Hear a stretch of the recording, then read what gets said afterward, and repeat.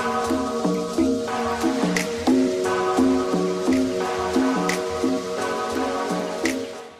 guys, I'm David and this is my second vlog for each semester. So today I'm gonna make an, a contemporary art.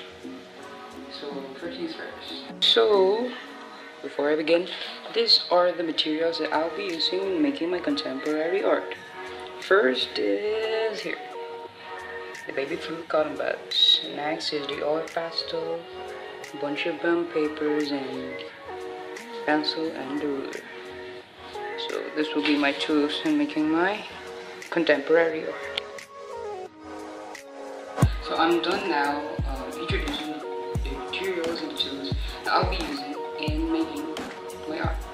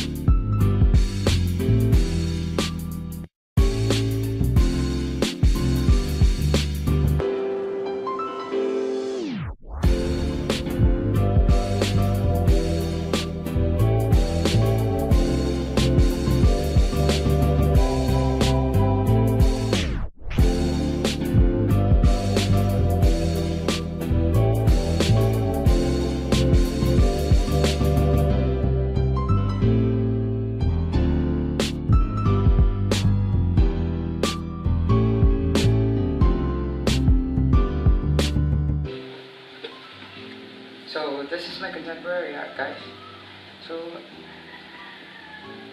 I made this stuff kind of contemporary art because I just love watching the sunset and for me it's the most beautiful thing and the most accessible thing I can perceive.